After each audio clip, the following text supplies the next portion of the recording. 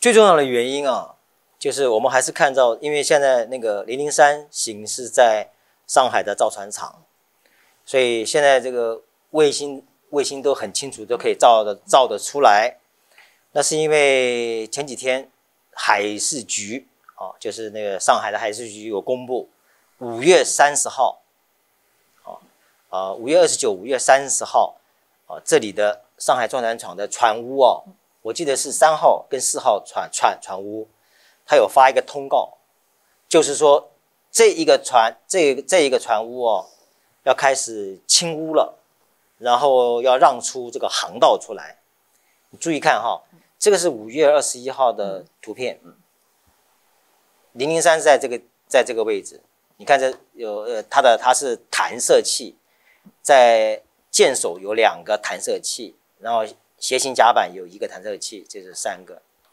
那他准备要下水啊，不是服役啊，是下水。下水的话，一定要从这个地方出来嘛。出来的话，那这边有一艘船，看到没有？现在这艘船正在建造。所以这艘船一定要移出去，把这艘船移出去以后呢，再把长江的水灌进来，之后呢，灌到这个干的船坞里面，这边就有水了，这艘船才能够出来。这是基于这样的一个考虑。如果你不让出的话，它干它就它不需要出来了嘛？啊，如果还在造的话，而且现在从整个卫星来看，它很多的主体建构，这这个主体的这种。的设施都已经基本完成了，可能是应该要下水了，否则他不会做出这样一个清污、那个让出航道的这样的一个一个一个命令啊。所以呃，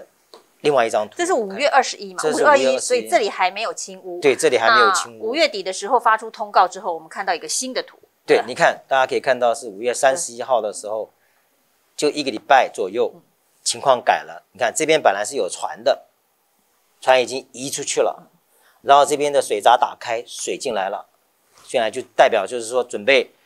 零零三如果能够下水的话，随时就可以下水了。当时的判断呢，这个坊间的判断了，这个是大陆的官方没有正式这么说，因为是接近六月三号，六月三号是端午节嘛，端午节恰恰又跟龙舟是有关系的，划龙舟啊这种啊，跟船有关，跟船有关。那所以民坊间就认为零零三是属于龙舟级的这种船哈，就是有有这么一个想法。然后六月三号也是江南造船厂一百五十七周年纪念日，所以刚好有这两天，所以坊间就有这样的想法啊，这也可以理解。嗯，因为像这种重大的呃设施或主站平台要下水或是到了一个阶段，总是会选一点时间的，特别是中国人可能对这个时间。特别啊，特别讲究。黄道吉日，对，所谓黄道吉日，但事实上并没有，嗯。啊，并没有，但是它已经清污了，哎，它已清污，水道也空出来了，对，水道空出来，就代表说它如果要下水可以，随时可以。那我在网络上也有看到，这也是民间的说，可能是在六月底，时间又延后，但我们不晓得，这反反正就是零零三。是否下水，一定是看他是否是否已经做好全班准备了，才能够下水，不会去配合一个时间去下水的。啊，还有就是要下水之前，这周边的所有设施都要移开，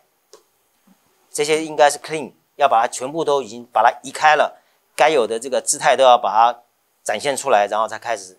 下水。但是哈，下水跟服役是两个概念，一个船下水了，说哦。就了不得了，当然这是一个里程碑，但是离服役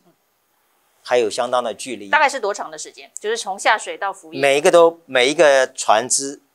都不太一样啊。那我们比如说用这个美国的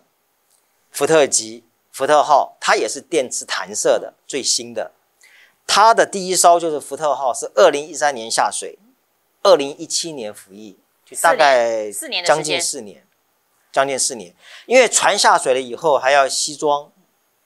西装就是英文叫做 ship equipment，就是它上面有很多的设设施、管线、路线，你都要把它放放上去啊。机电设备，机电设备都要把它放上去，这工程也是很很庞大的，它不是一般的那个电路线路。那也是很庞大，是关系整艘航空母舰的运作，这个需要时间，所以有人抓是最快也是要两年、三年，但是美国的经验是三年多，将近四年，将近四年，就是说现在下水可能要到二零二六年才能够正式的这个服役，可能这样子，有人把它推说二零二五年，哦，二零二五年的话就是抓是差不多三年嘛，对不对？也差不多合理了，也差不多合理，所以。零零三这艘船下水，但今年肯定要下水了。今年应该是要下，因为看起来各种准备工作都已经展开。今年是会下下水的，应该是下半年，大概就是六月之后下水之后要西装，西装完了以后还要一系列的海试，海上还要测试啊，等等等。你这个船体究竟 O 不 OK 啊？全部搞完以后哈。还要再看舰载机呢，那就是看弹射器怎么样了。哇，那后面我我觉得它真正离服役的时间可能要比我们想象的不会很快啊，除非他二零二五算快的判断。嗯，我觉得，因为它后面你这个船除了你的主体结构是不是都 OK？你比如说就跟我们一个人的脸一样哈，你有很漂亮的眼睛，你有很漂亮的鼻子，你有很好的嘴巴。单个看都很好，但你把它装在一起，装到一张脸上，就未必。它中间有很多的磨合跟协调，这个工程很很很很大啊，远远不是前面辽宁舰跟山东舰可以做类比，因为这是一个全烧的船，而且是八万吨嘛，前面那两艘是六万吨，